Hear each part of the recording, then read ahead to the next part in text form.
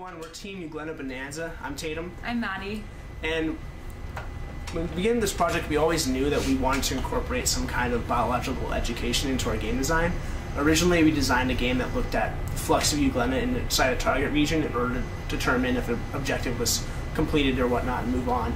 Uh, we determined that this was a little bit too difficult for us to pull off at the time, so we did a target-based approach to the game. So, in terms of gameplay, we decided to incorporate a little more focus on the actual life uh, of the euglena. We feel that by putting euglena in the spotlight, we give them more respect as an organism, kind of enhance the user's learning experience about euglena's life. Yeah, and so we did this by making the objective targets in our game represent different essential parts of the euglena's life. Um, for example, the cyan targets represent the water that the euglena lives in, the yellow represent the sunlight, and the red uh, represent harmful aspects of euglena life, like pollution, predators, different toxins. Um, we hope that this gives more respect to the organism as users learn a little bit about what its life is like. Let's check out our gameplay. Welcome to Euglena Bonanza. As you can see, as Euglena swim across the screen and hit the colored target boxes, they flash white and the point value increases the according amount. The green box represents micronutrients, and the yellow box here represents sunlight the euglena needs to photosynthesize.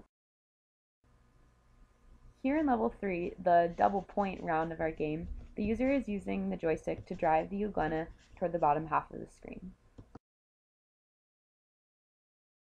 Okay, thanks for playtesting for us, Allison. Um, basically, use the joystick left, right, up, down to control the Euglena's movement on the screen and try to hit the boxes, and they get different points according to our point system.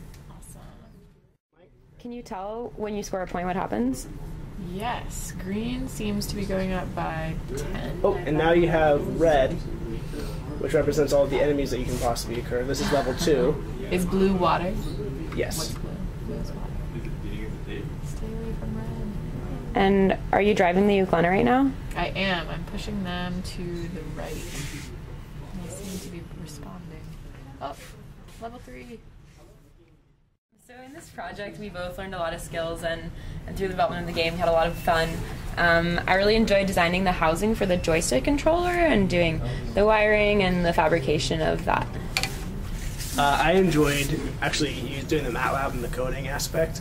Um, I did a lot of troubleshooting as well, and just like finding a way to make the Euglena interact uh, with the MATLAB code and actually create a game. So that was really exciting. Yeah. Uh, I think I learned a lot from that, and just the, pro- the entire process in general. So it was great. We had a lot of fun. Yeah, integrating lots of components, and yeah, good job on the detection. Yeah.